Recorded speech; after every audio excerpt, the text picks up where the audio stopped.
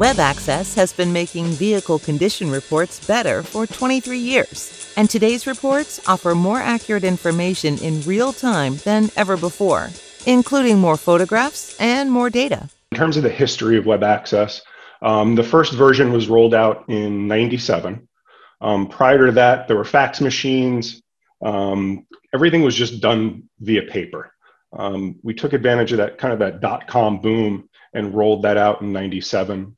Um, and if you had a fast enough inter- internet connection uh, out via your telephone line, you could see those photos, see that condition report, albeit it was much slower than it is currently or today with everyone on broadband, et cetera. Um, but as we've moved through the years, the pictures have become more detailed. They're not as pixelated. Um, we just rolled out a new uh, picture viewer, if you will. So you do have the ability to zoom in on any damages um, and really get a clear cut view um, of what that asset looks like, its current condition.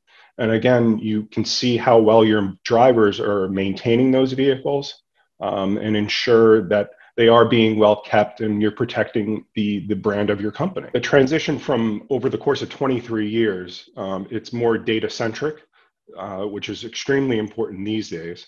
Um, better photographs, better condition reports, and really more, heck of a lot more accurate information in real time uh, as to what the condition of that asset that you're selling or remarketing looks like.